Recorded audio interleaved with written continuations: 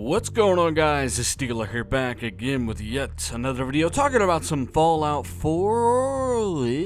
Not really, I'm talking about some Rise of the Tomb Raider here recently. A developer went all in detail about the Xbox One X, and there are some extremely interesting quotes here.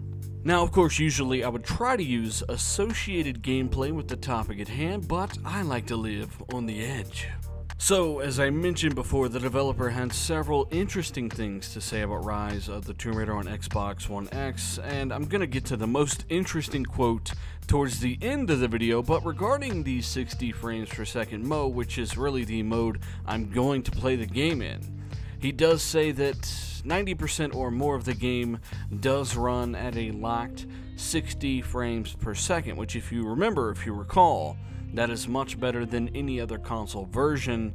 There were quite a few drops before, which really leads to that DX12 command processor at work. As I told you guys before, technology like that is aimed to make frame rates more stable, more consistent, and they are definitely using it in this iteration of Rise of the Tomb Raider. So he does actually confirm that that frame rate is actually locked most of the time on the Xbox One X version, but the most interesting quote is that of the 4K rendering.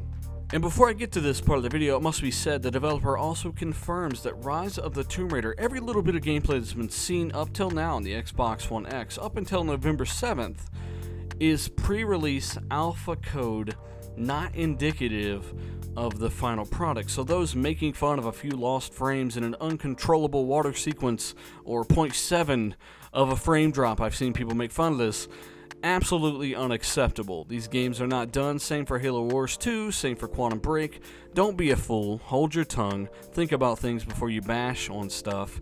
There's a reason we don't really do that kind of stuff here on this channel. It really doesn't make any sense to compare unreleased uh, alpha code, especially when the developer is confirming so, uh, and saying it's indicative of a final product. That's just stupid.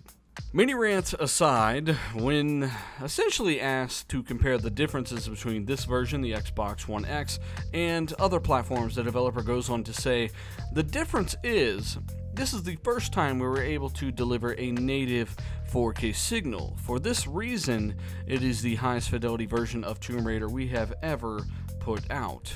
Now, I'm sure there are those that will try to push the narrative that, oh, this developer's only talking about the console versions of the game, right? But it's important to remember that this studio also did the PC version, and I can hear it now. Plenty of people upset in the comments. Oh my god, he said it was better than, than the PC version. Ugh. You know, it's really not a huge deal. Generally, when you see a quote like this, um, there's probably another side to the coin, another side not being represented, and of course, we don't know everything about how they rendered the game in 4K on the PC.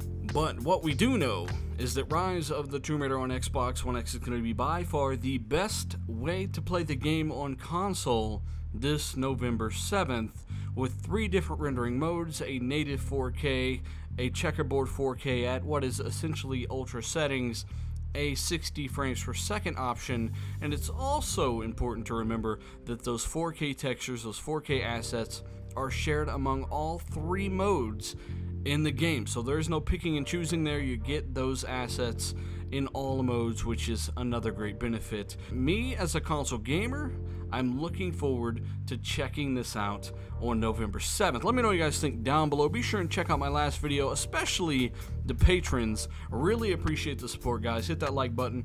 I'm Dealer. I'm out.